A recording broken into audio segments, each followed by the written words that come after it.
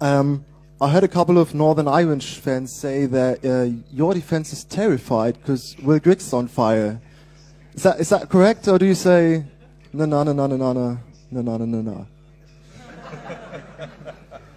Antworte ich auf Deutsch? Ich auf Deutsch. Yes, yes.